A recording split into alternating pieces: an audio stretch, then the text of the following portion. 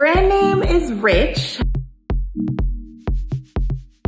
My name is Rainy. I am the CEO and creative director of RXCH. RXCH is the total representation of my true self, both sexy and pure, don't give a fuck. I love to get dressed. I love to show out. I like to just walk in and there's all eyes on me and that's what RXCH is. Women inspire me. Um, natural bodies, the overall sex appeal of women in clothes. We all look and feel amazing when we have on something that's bomb and brings out our innermost sexiest. I do everything from styling, photography, emails, customer service, the website, anything and everything where there's work, I'm the girl that's doing it.